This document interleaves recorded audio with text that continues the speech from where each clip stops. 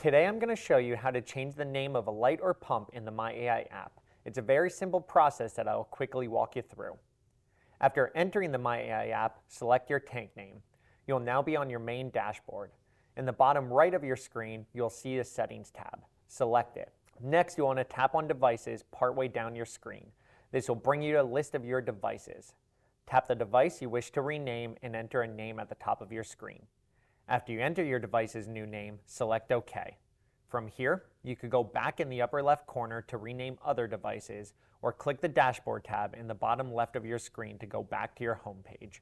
Your device is now renamed, making it easy to identify on your device list.